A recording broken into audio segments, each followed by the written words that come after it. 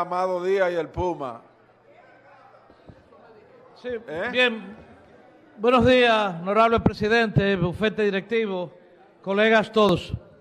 Ahora sí, Yudelka, quisiera llamar la atención de manera muy particular, porque el caso que nos ocupa no solamente nos embarga, nos embargas, nos llena de tristeza.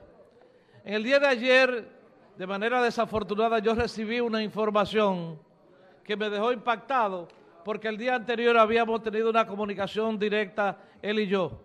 Quisiera que este honorable hemiciclo, todos los diputados, nos acompañaran en el dolor que sentimos, y por eso pedimos un minuto de silencio, en memoria de Max de Soto. Max de Soto fue vice- viceministro del Ministerio de Administración del Estado y en el día de ayer, producto de un infarto, perdió su vida.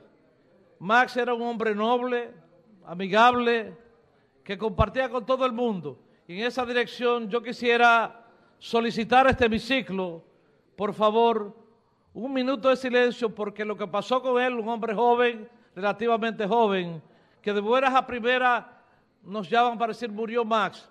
Por lo tanto, quisiéramos que se solidarizaran con este minuto de silencio, porque realmente a la familia dominicana y especialmente a nuestra organización nos dejó muy impactados. De igual forma, Joselito tiene algo que tiene que ver con el silencio también, quisiera un presidente que en esa misma dirección, pero que sea él quien lo pida.